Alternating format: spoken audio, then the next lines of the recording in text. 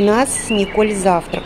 Николька завтракает там, я полила цветочки, полила дворик, солнышко, птички поют, ветра нету. Ты опять, ну ты опять вот вместо того, чтобы нормально кушать. Ну что у нее в последнее время с питанием происходит? Я не знаю, она подходит порциями, ест и отходит. Давай, давай. Выдра. А у меня завтрак. Я, в общем, основательно, по-моему, до обеда завтракать буду. У меня яичница с э, сыром. Вот. Козья тарелочка. На всякий случай достала арахисовую пасту с хлебушком. Вот. И еще на всякий случай достала это. Ну, это, знаете, как по ходу дела. Вдруг разыграется аппетит. Знаешь, я буду долго сидеть, завтракать. И все это есть. Да, еще у меня чай, который заваривается, и ложка меда. Ой, надо было еще лимон. Сейчас лимон тоже брошу. У меня лимон есть. Вот. Посмотрите, это мадам. То отходит, то подходит. Что мне делать с ее едой? Вот так вот она порциями ест. Она не съедает сразу. Ей вот по чуть-чуть хочется. Ой, как хорошо. У нас почти свобода, понимаете, с ней. Мы пока привыкаем к дворику, но надо уже выходить на улицу. Не так давно мне а, пришел в комментариях вопрос, ну, мне больше показалось, что это было даже утверждение. Точно не процитирую, но речь шла о том, что, заведя Николь, я лишилась свободы. Вопрос был по типу «Вам надоела свобода?» или там «Вы устали от свободы?» Ну, в общем, что-то такое. Вы поняли, да? Я свободолюбивый человек. Ценю свое свободное время. Завести питомца – это не значит лишить себя свободы, поверьте. Может только на первое время, пока идет адаптация. Я уже не раз говорила, что любое решение мне дается очень трудно, но когда я понимаю, что я к этому готова, то иду на пролом к намеченной цели. Собаку я завела не от скуки и не потому, что мне надоела моя свобода. Я всегда испытывала теплые чувства к маленьким породам и очень хотела завести именно домашнюю собаку. Меня останавливали следующие факторы – первое – это моя постоянная занятость. Было мало свободного времени, и я переживала, что не смогу уделять своему питомцу должное внимание. Но так как я ушла с государственной работы, то этот вопрос сам собой отпал. Второе – это моя жажда путешествий. Я обожаю кататься самолетом, поездом, автомобилем, Люблю менять локации, люблю изучать местности и достопримечательности, а животное куда-то надо девать, то есть отдавать питомца на передержку. Раньше я к этому очень плохо относилась, думала, что это предательство по отношению к животным, но потом посидела, подумала, сколько раз нам в жизни по тем или иным причинам приходилось отдавать своих детей бабушкам и дедушкам, когда нам нужно было куда-то выезжать. Это совершенно нормальный жизненный процесс. А значит, и питомец может какое-то время пожить в специализированных питомниках у хороших людей, любящих животных. К этому нужно относиться спокойно. Пока у животного формируется характер и идет привыкание к хозяину, то ограничить себя в поездках надо. Но я думаю, что за полтора-два месяца это все устаканивается. Да и потом сейчас э, есть очень много отелей, э, которые предоставляют номера для проживания с питомцами. Значит, по возможности буду искать такие отели. Первые два фактора меня не столько пугали, сколько пугал третий – я ставила перед собой вопрос, а справлюсь ли я? Я понимала, что воспитание питомца – это процесс очень сложный, затяжной и очень ответственный. Это единственное, что больше всего на меня давило. Но я сумела превозмочь себя, и теперь Николь со мной. И вообще, почему бы на желание завести питомца не посмотреть с другой стороны? Это не спасение от скуки и одиночества. Я не страдаю ни тем, ни другим. А это наполнение без того счастливой жизни новыми красками, позитивными эмоциями, новой ответственностью. Это, кстати, самодисциплина, физические упражнения, благодаря играм с питомцем, хорошие кардионагрузки, укрепление иммунитета, благодаря регулярным прогулкам. Общение с животными помогает справиться с негативными эмоциями. Еще есть очень интересный момент. Появляются новые знакомые из разряда собачников. Я вот на первых выгулах познакомилась с женщиной, которую очень часто видела на улице, гуляющей со своей собачкой. Кстати, она и являлась моим мотиватором.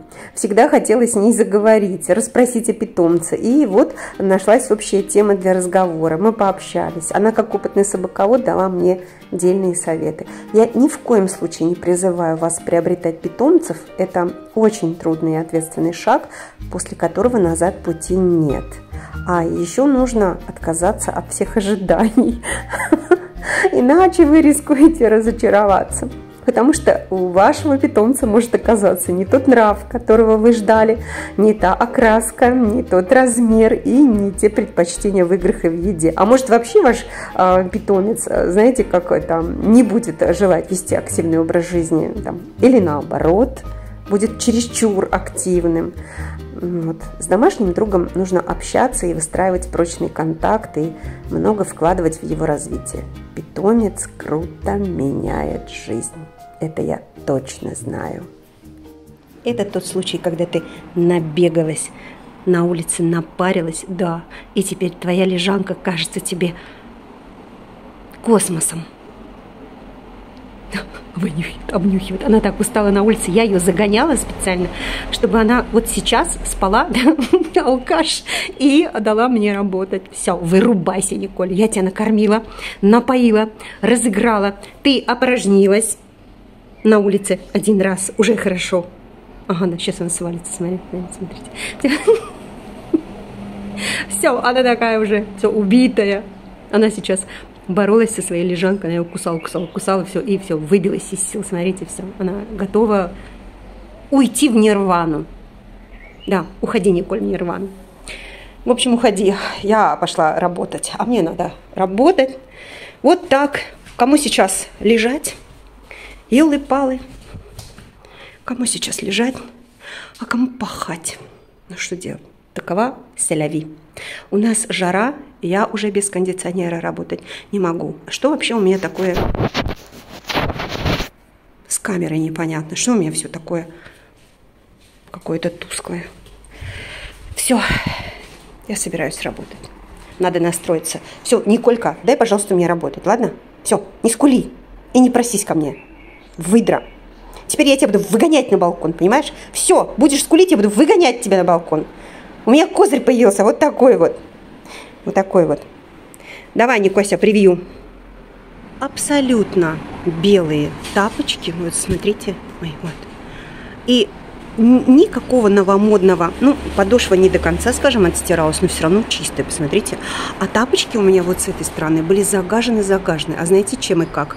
Вот я когда ношу брюки длинные, да, вот они почти вот до земли, от того, что они мотыляются по земле, а потом трутся вот а, об эту часть, об задник, и, естественно, пачкается. На самом деле уже у меня вот эти тапочки были, ну, совсем никудышные. Смотрите, чистейшие, чистейшие. Никакого новомодного средства. Абсолютно.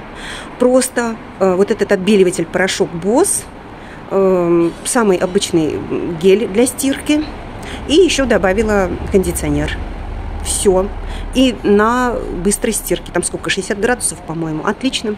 И вот так вот защипила. Здесь, знаете, за что взялась? За, вот видите, да, вот этот вот э, язычок туда просунула шпильку, и вот так вот они у меня сушились. А я сейчас их снимаю, потому что я должна... Ой, вот я постирала, теперь я выможу сейчас, по-моему, вот так вот. Мне надо выходить, меня встреча с коллегой –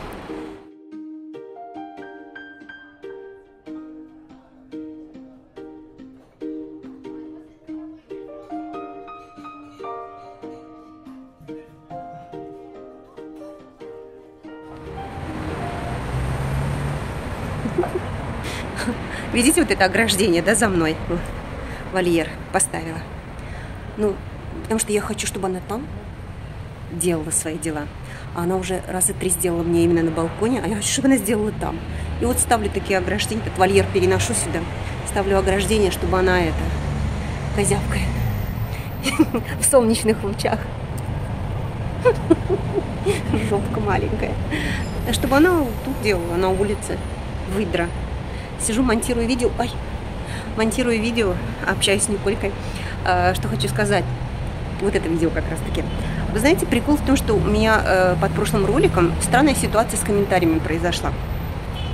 И, по-моему, не только под этим роликом. Точнее, вот э, то, что у меня за вчерашний день комментарии приходили. Сначала, когда я выложила ролик, у меня пошло все нормально. Значит, я приходил комментарий, я открывала его, отвечала. А потом следующий комментарий, ну, как-то произошел перерыв, а потом следующий комментарий у меня, знаете как, я вижу, что они есть, а они у меня не открываются. То есть даже не написано, что комментарий недоступен. Обычно бывает, если какие-то там проблемы, то они пишут, комментарий недоступен, больше недоступен. А это вообще не он вообще не открывается. И вот только сегодня я сумела зайти, то есть они так и висели, и вот только сегодня я сумела их открыть, чтобы полноценно прочитать, потому что у меня высвечивалось только начало строчки, да, и а, вот, но я уже не успевала на них отвечать, потому что у меня и дел сегодня было полно, а, и я поставила лайки и сердечки вам подарила свои. Вот. Ну, у меня сегодня действительно было много дел. У меня был сегодня и стоматолог, у меня сегодня был и, в общем, я и в Айкике сбегала, и в Браво. Ну, это вы увидите в следующих роликах. Вот. Так что, если что, то на сегодня все. Ну, возможно, что ролик, знаете, получился такой какой-то на общении, на нашем с вами общении. Иди сюда, козявка моя. Смотрите, какая противная. Смотрите, что она делает. Смотрите, какая противная. Противюга такая.